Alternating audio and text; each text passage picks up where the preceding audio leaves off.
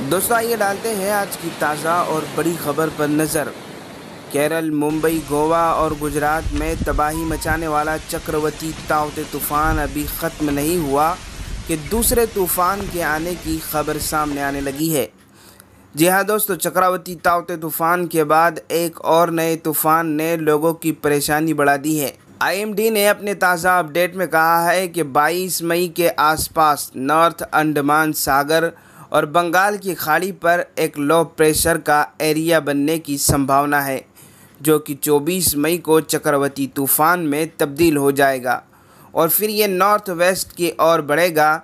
इसके बाद ये 26 मई की सुबह उड़ीसा पश्चिम बंगाल से टकराएगा, जिसके बाद उड़ीसा समेत कई राज्यों में भारी बारिश होने की संभावना है। इस दौरान पैंसठ किलोमीटर प्रति घंटे की रफ्तार से हवाएँ चलेगी। ये तूफ़ान कितना शक्तिशाली होगा, इस बारे में मौसम विभाग ने अभी कुछ नहीं कहा है।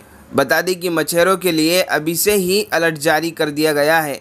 उन्हें 22 मई से ही समंदर में जाने से रोका गया है। दोस्तों, मौसम को लेकर ये अपडेट आपको पसंद आया तो वीडियो को लाइक और शेयर ज़रूर करें। और इस तरह की नई वीडियोस के लिए हमारे चैनल को सब्सक्राइब ज़रूर कर दें।